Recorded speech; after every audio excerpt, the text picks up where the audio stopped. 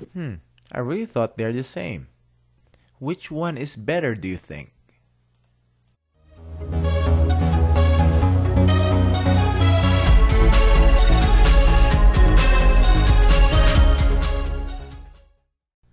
Hello guys, Lifehackster here.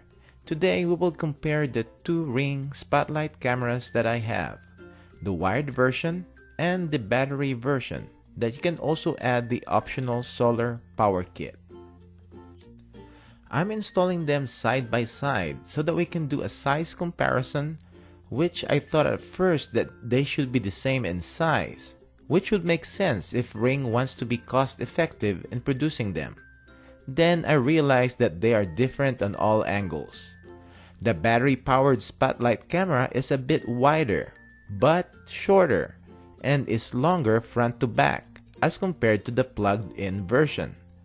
I'm pretty sure that there are no interchangeable parts on both units. Just imagine how Ring is able to separate the manufacturing and assembly of these two products because they look the same at a distance.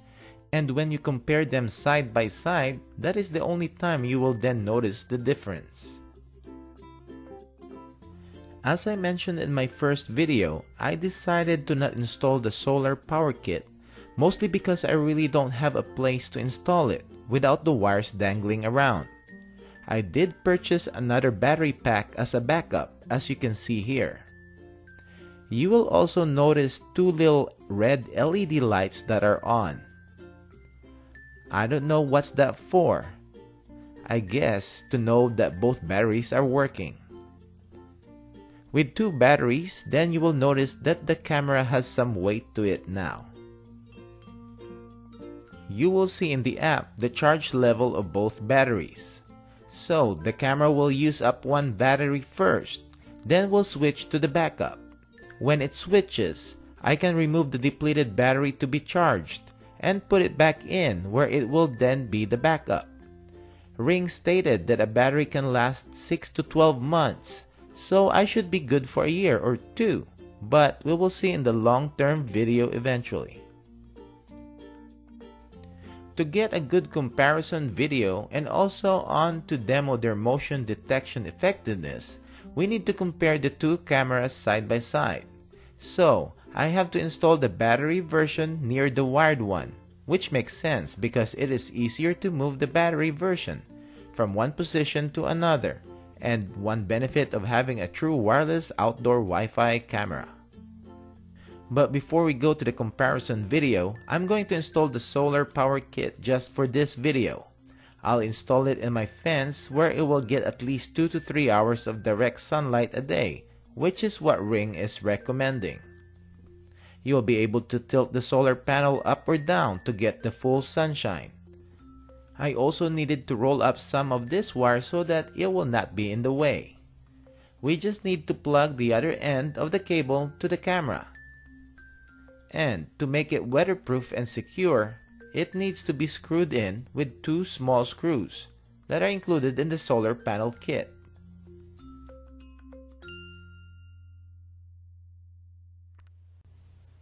When everything is secure, then we will reinstall the spotlight camera to its mounting base and lock it in.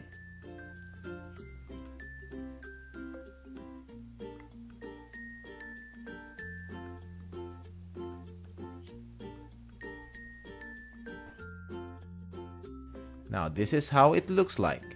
The battery powered spotlight cam is hooked up on the solar panel. Now it is not powered by it. It only charges the battery and keeps it charged. The battery is still needed to power the camera. And as you can see here, the sun is directly shining on the panel, so it will keep the battery topped off.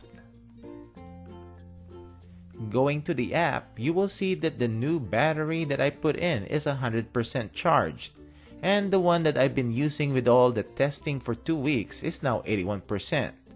We will see how soon the battery will be charged by the solar panel. There is nothing here in the app that states that the solar panel is hooked up and is charging the batteries. But I'll give it a few days and see. Now, you can only access the light and the siren for the battery version when you are in live view. You click the plus button on the right and turn the light on. Now it works. The malfunctioning light on my original video only happened that day of the install, and the next day it was working fine. Now let's check out the motion detection and see how soon we get an alert. Both of the cameras alerted me.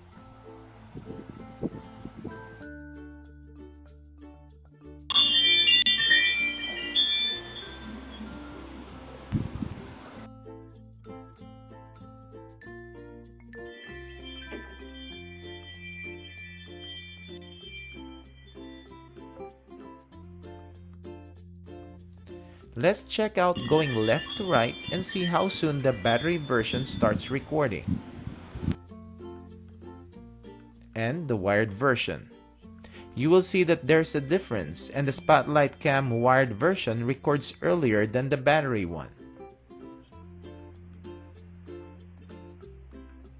You will see the biggest difference if a subject is going straight to the camera.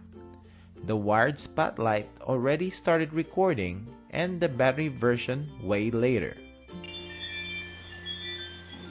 This is a weakness of the PIR sensors which most outdoor cameras have, and including these two spotlight cams. But because the wired version records 2 to 3 seconds before the motion detection is triggered, then it will show the video of me walking and you will only hear the notification when I'm already 10 feet from the cameras and this is when the Spotlight Cam battery started recording. The battery version records video for around 30 seconds, and the wired one for about a minute. During continuous motion, the wired spotlight continues to record, while the battery version will record for 30 second increments. Then we'll have a cool down period depending on how you set up the smart alerts. I'm assuming this is how it is set up so that it will save battery. During testing at night, I wasn't successful in triggering both cameras to turn on their lights at the same time. I guess when one camera's lights are on, then the other one's sensor thinks it is daytime, and it will record but not turn on their lights. I tried this multiple times and both cameras just alternate in turning on their spotlights. Now this is night vision with the spotlights on. The wired spotlight triggered first and turned on the lights. The battery version didn't get triggered and started recording until I went around the table. The night vision of the Spotlight Cam battery though is way better than the wired one. Actually, both cameras on night vision with infrared on and the lights off is way too blurry. But when the lights are on and the camera is still in night mode, then the battery-powered spotlight cam is clearer than the wired one. Ring, if you're watching, you need to work on the night vision on these cameras. The opposite is true in daytime though. The wired spotlight camera is a little bit clearer and sharper than the battery version.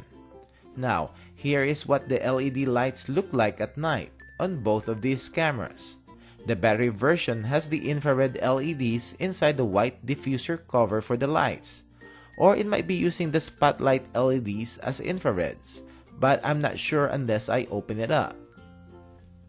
You can see the 6 LEDs for the wired version and 4 for the battery version.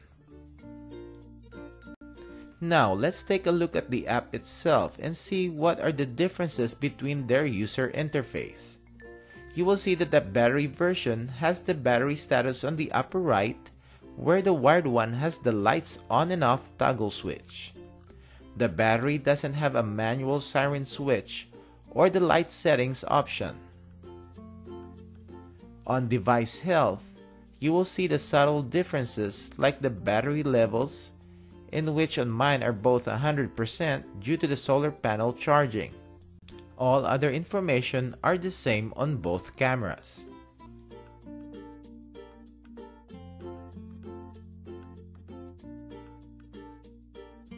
On the motion settings, you will see the bigger difference, especially on the motion zones. The battery-powered one only shows a slider with a drawing of the zone divided into three. Then you can adjust the slider on to which the zone up to how far you want the motion to be detected. On the wired one, it is more flexible and it uses a snapshot of the camera's view and you can customize your zones using the blue dots. So it is more customizable. Now their motion scheduling are the same. Now the battery version has the smart alerts in which you can choose the cooling off period of the camera. Three choices, light, standard, and frequent.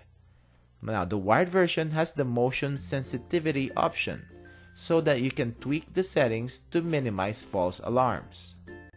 As you can see here at the bottom on the wired version, there is the light settings option in which you can choose the motion zones for the spotlights. And then you can also set on how long the lights will be on when triggered. Then you can also set the brightness of the LEDs, which I don't know why it is an option because the lights are not that bright anyway, so it will be a max setting on mine. On the battery version, instead of the light settings, we have the live view settings. So when we push live view, let's see which one comes up first. Almost the same. On live view, both cameras have the same interface, like their two-way communication. And also when you click the plus button, you'll be able to access and turn on the siren and the lights. One thing I noticed, and it might not show when I upload to YouTube, is that daytime footage on the wired spotlight cam is clearer and sharper as compared to the spotlight cam battery footage. Overall, both cameras have their own pros and cons, and both of them can definitely be made better.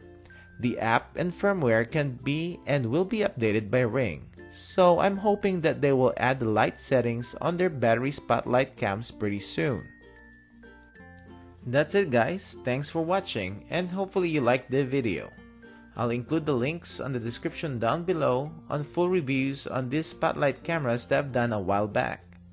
If you haven't done so, subscribe to my channel to get video updates on these cameras and also to get more videos of product reviews and occasional everyday life hacks. Thank you.